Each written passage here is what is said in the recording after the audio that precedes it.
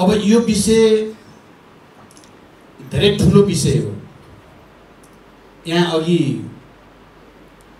भनियो चाहिँ माओवादी आन्दोलन अथवा नेकपा माओवादी मूलधारमा आएपछि भन्ने शब्द यहाँ प्रयोग भयो। यो विषय धेरै ठुलो गम्भीर महत्त्वको छ भनेर म भन्न चाहन्छु। हामी मूलधारमा आयौँ कि हामीले मूलधार क्रिएट गऱ्यौँ भन्ने विषय निकै ठुलो बहसको विषय हो। कुन मूलधार? संवैधानिक राजतन्त्रवालालाई मूलधार भने हो कि गणतन्त्रको मूलधार? किनभने गणतन्त्रको मूलधार त माओवादीका कारणले नै जन्मिएको हो। सङ्घीय लोकतान्त्रिक गणतन्त्रको मूलधार। र गणतन्त्रको घोषणासँगै देशको सबैभन्दा ठुलो पार्टी पनि माओवादी नै भएको हो। तर माओवादीको गणतन्त्रात्मक मूलधारमा अन्य दल आएका हुन् कि? माओवादी संवैधानिक राजतन्त्रको मूलधारमा गएको हो भन्ने विवाद वैचारिक क्षेत्रमा राजनीतिक क्षेत्रमा निकै ठुलो विवाद छ। तपाईँहरूले बनाउने यो टेलि टेलिश्रृङ्खलाले यथार्थलाई उद्बोधन गर्नेछ। जनताको कति ठुलो सहभागिता कति ठुलो त्याग तपस्या र बलिदान छ सङ्घीय लोकतान्त्रिक गणतन्त्रका लागि भन्ने कुरा कलात्मक ढङ्गले स्थापित हुनेछ भनेर म विश्वास व्यक्त गर्न चाहन्छु। मरिचमान श्रेष्ठ बल्छी जुठे विभिन्न नाम आफै कलाको क्षेत्रमा स्थापित नाम हो। र अन्य कलाकारहरू पनि जो यहाँ तपाईँहरूले परिचय गराउनु भयो उहाँहरू पनि आफ्नो कला आफ्नो क्षमताद्वारा राम्रैसँग नेपाली समाजमा स्थापित कलाकारहरूको टिम तपाईँहरूसँग छ। र मलाई के विश्वास छ भने तपाईँहरूले बनाउने यो टेलिश्रृङ्खला जनताले राम्रैसँग हेर्नेछन्। तपाईँहरू किनभने योभन्दा अगाडि पनि माओवादी जनयुद्धको विषयलाई लिएर फिल्म पनि बने केही त्यस्ता टेलिफिल्महरू पनि बने तर त्यो त्यति धेरै लोकप्रिय र जनतामा स्थापित हुन सकेनन्। किनकि ती माओवादीले नै बनाएका थिए। यो अहिले तपाईँहरू माओवादीले बनाउँदै हुनुहुन्छ। माओवादी नभएकाले बनाउन लागेको हुनाले यो जनताले पक्कै पनि रुचिपूर्वक हेर्छन् भन्ने पनि म ठान्छु। तर फेरि राजनैतिक दृष्टिकोणले तपाईँहरू परिवर्तनको पक्षमा हुनुहुन्छ प्रगतिको पक्षमा हुनुहुन्छ शान्तिको पक्षमा हुनुहुन्छ त्यसकारण यथार्थपरक र सत्य नै तपाईँहरूले उद्बोधन गरेर चिहानबाट खनेर भए पनि सत्य ल्याउनुहुन्छ भन्ने विश्वास पनि म व्यक्त गर्न चाहन्छु।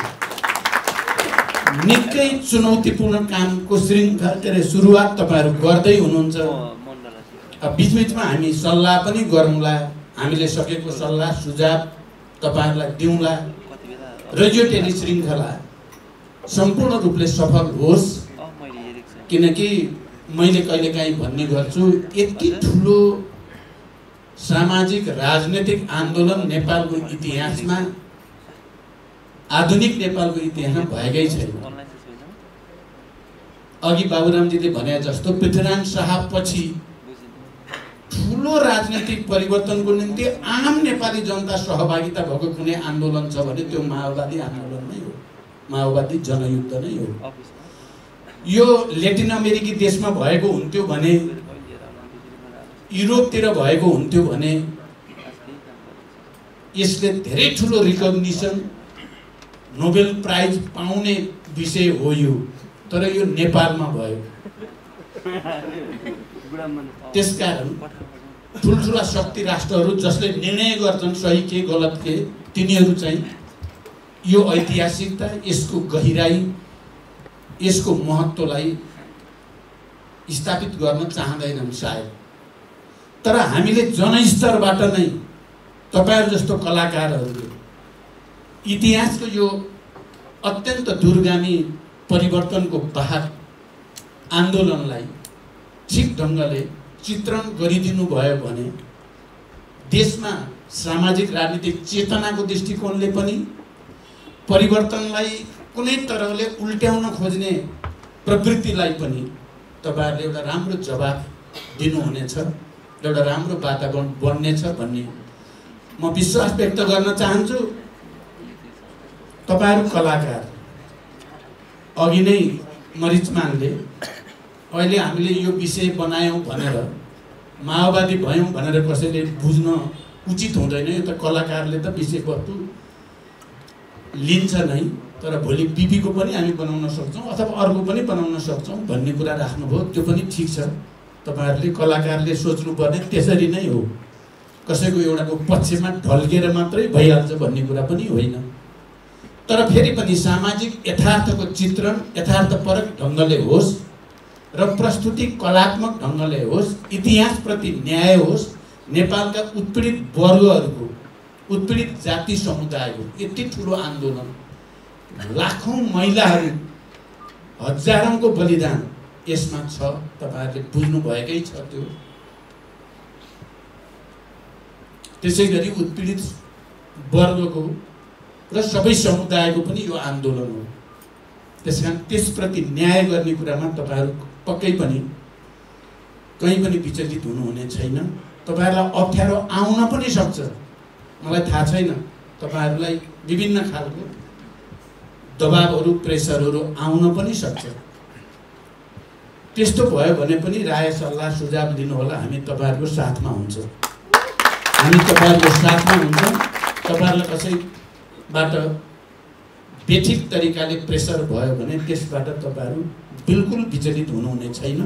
हामी तपाईँहरूको अगाडि उभिएर लड्नेछौँ यति भन्दै फेरि सबै कलाकारहरूलाई मुख्य त मरिचमानलाई र अब जितु जसरी यहाँ भन्नुभयो सुन्न त धेरै मन लागिराखेको थियो उहाँको लागि पनि राख्छ म हेरि पनि राख्छु अहिले पनि।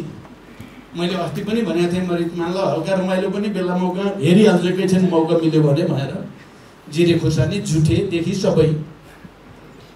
मौका मिल्यो भने धेरै मौका त्यति मिलाउन गाह्रो हुन्छ।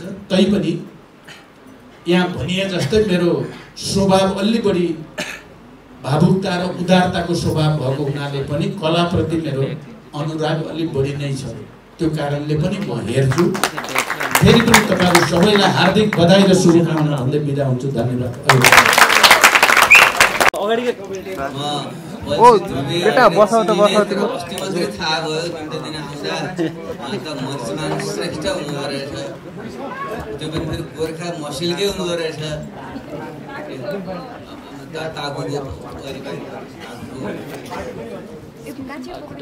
त्यसैले बिहानीले दिउँसोको झल्को दिन्छ भनिन्छ यो पहिलो एपिसोड हेर्ने बित्तिकै थाहा भयो यो असाध्यै उत्कृष्ट श्रृङ्खला यो बन्दैछ अगाडिको साथीहरू टाउको होचो है कमल प्रचण्ड यही हुनुहुन्छ हामी त यसैका सहभागी नै भइहाल्यौँ हामी इतिहास निर्माताले इतिहासबारे अरूले लेख्छन् कसरी लेख्छन् त्यो उनीहरूको काम हामी आफै इतिहास निर्माता भएको हुनाले हामीले त्यसमा चिन्ता गर्न आवश्यक हुँदैन। र मलाई अस्ति पनि उहाँले कि सुझाव थोरै दिएको चाहिँ के छ भन्नुभएको थियो त्यति बेला मैले भनेको थिएँ जनयुद्ध भनेको नेपाल राज्य बने यताको सबभन्दा ठुलो परिघटना हो। नेपाली भुइँ तहको जनता त्यो लाखौँ पचासौँ लाखको हिसाबले कुनै अभियानमा सहभागी भएको थियो भने कि त सुगली सन्धिभन्दा अगाडिको राज्य विस्तारको क्रममा टिस्टादेखि काङ्लासम्म नेपाल राज्य विस्तार हुँदा नेपालका सबै तर तबकाका महिला बालबच्चा समेतले सहभागी भएर राज्य निर्माण सहभागी भएका थिए। कि त माओवादी जनयुद्धकै क्रममा देशैभरका सम्पूर्ण तर तबकाका जनता सहभागी भएको थियो। फेरि यस्तो यो परिघटनाले जुन आज हामीलाई सङ्घीय लोकतान्त्रिक गणतन्त्र यो अवसर दिएको छ यो मुख्य पाटो यो। तर के हुन्छ भने समाजमा ठिक र बेठिकको लडाइँ निरन्तर चल्छ। हाम्रै चाहिँ कथाहरूमा पनि राम र रावण कृष्ण र कंस केही वरिपरि त्यो ग्रन्थ लेखिएका हुन्। भने संसारमा जहाँ पनि हामी चाहे ग्रिक मिथकका कुराहरू जहाँसुकै दुई पक्ष हुन्छ हुन्छ। त्यसैले एउटा पक्षले यसको विद्रूपीकरण गर्छ अर्को पक्षले यसको महिमा मण्डन गर्छ। तर तपाईँहरू तपाईँहरू आम जनता तपाईँहरूले यसको मूल्याङ्कन गर्ने हो। र मेरो एउटै मात्रै सुझाव के हो भने बच्चा जन्मदाखेरि रक्तस्राव हुन्छ सालनाल सहित जन्मन्छ फोहोर पानीले बहाल्नु पर्छ। त्यसो गर्दा हामीले बच्चा जन्मिएकोमा खुसी मनाउने बच्चाको माया गरेर हुर्काउनेतिर हामी लाग्ने कि त्यो सालनाल फोहोर हो छा भनेर त्यो नाक खुम्च्याउने। त्यसैले यो दृष्टिकोणमा भर गर्ने कुरा। हो मलाई के विश्वास छ भने नेपाली जनताकै सहभागितामा भएको यत्रो परिवर्तनको पक्षमा यो टेरिस श्रृङ्खला उभिन्छ र यसमा भएका कमी कमजोरी ती साल नाल र जुन घटनाहरू छन् ती पनि अवश्य नै आउँछन्। ती गौण रूपमा सहायक रूपमा आउँछन्। प्रमुख रूपमा बच्चा जन्मेको खुसियाली यसले ल्याएको उपलब्धिको पाटो प्रमुख बनेर आउँछ भन्ने मलाई चाहिँ विश्वास छ। त्यसो भयो भने इतिहासप्रति पनि न्याय हुन्छ। खास गरी नयाँ पुस्ता युवा पुस्तामा हामीले जनयुद्ध किन गरेका थियौँ? के आवश्यक थियो? यो पर्यटन कसरी आयो? भन्ने कुराको सम्प्रेषण हुन सकेको छैन। किनकि इतिहास त श्रृङ्खला कडी कडी हुँदै अगाडि बढ्ने हो। न्युटनले भने जस्तै I can see farther because I stand on the shoulder giant भन्थे। मैले अलिक परसम्म देखेको भनेको महामानवको कानमा चढेर हो। अघिल्लो पुस्ताको कानमा चढेर नयाँ पुस्ताले परसम्म देख्ने बनाउने हो। त्यसैले तपाईँ हामीले त यसमा ल्यायौँ हाम्रो पुस्ताले। अब यसलाई टेकेर अगाडि जाने हो। यसैलाई भत्काउने बेठी हो पछाडि फर्कने उयो भो भो भन्ने गर्छन् त्यसमा बग्ने होइन। हाम्रा कमी अवश्य भए हो त्यो तपाईँले मूल्याङ्कन गर्ने कुरा हो तर फेरि पनि नेपालको भविष्य उज्जवल छ। हाम्रै युवाहरूमा जुन खालको निराशा जुन छाएको छ त्यसको कारण यहाँ समय हामीले छैन। म छोटो के मात्रै भन्छु भने अरू देश छिटो बने हाम्रो किन बनेन भन्नुभएको छ नि? किनकि हामी एउटा कुरा त यो क्रान्ति र परिवर्तन हामीले सहमति सम्झौताबाट ल्याउनु पर्यो। बाध्यता थिए त्यसका भूरान्ति जटिलता देशभित्र जटिल एउटा त्यो कारणले गर्दा पूर्ण क्रान्ति भएको होइन। यो सहमति र सम्झौताको क्रान्ति भएको एउटा कुरा। दोस्रो कुरा क्रान्ति र परिवर्तन भइसकेपछि कमसेकम केही दशकसम्म ती क्रान्तिकारीहरू जसको दिमागमा भिजन थियो नयाँ नेपाल कसरी बनाउने भन्ने जुन चित्र थियो तिनीहरूले चलाउन पाएको भए संस्थाहरू बन्थे आर्थिक विकास र समृद्धिको ढोका खुल्थ्यो सुशासन समृद्धिको मार्ग खुल्थ्यो। तर हामी त छ महिना नौ महिनामा सरकार फेरि बदलिएको छ गर्ने क्रममा चाहिँ पुरै खिचडी भएर नयाँ र पुरानो जुन दलदलमा यो फस्यो। त्यसले गर्दा अहिले यो स्थिति आएको चाहिँ कारण त्यो त्यसैले पनि फेरि यस विषयमा कुनै सन्दर्भमा कहीँ सन्दर्भ गरौँला। तपाईँहरूले हिम्मत नहार्नुहोस्। यो जुन टेली श्रृङ्खलाले नेपाली इतिहासको एउटा महान जुन परिघटना भएको कालखण्ड हो त्यसलाई चाहिँ नेपाली जनतामा खास नयाँ युवा पुस्तामा सही वस्तुसँग डल्ने राम्रो प्रशंसा गर्ने भन्ने छैन आलोचना गर्नु होला हाम्रो। तर यसो सही इतिहास तथ्यपूर्ण इतिहास सम्प्रेषण गरिदिनु भयो भने इतिहासप्रति न्याय हुन्छ र त्यसले चाहिँ हाम्रा युवाहरूले जो वितृष्ण भएर देश बन्दैन भनेर विदेश पलायन हुने प्रवृत्ति छ होइन देश बनाउन सकिन्छ। एउटा पुस्ताले लडेर यहाँसम्म ल्याएको थियो। अब हाम्रो पुस्ताले फेरि मिहिनेत गरेर देश बनाउँछ भन्ने सन्देश गयो भने नेपाल बन्छ।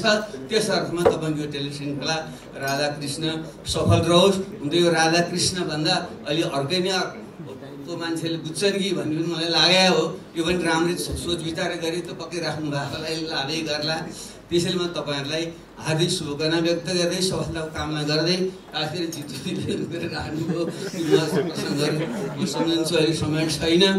हामी त त्यति बेला पनि जुन त कालमा पनि मौका पाउँदाखेरि चाहिँ राम्रो खालको हामी त्यति बेला हेर्ने गर्थ्यौँ।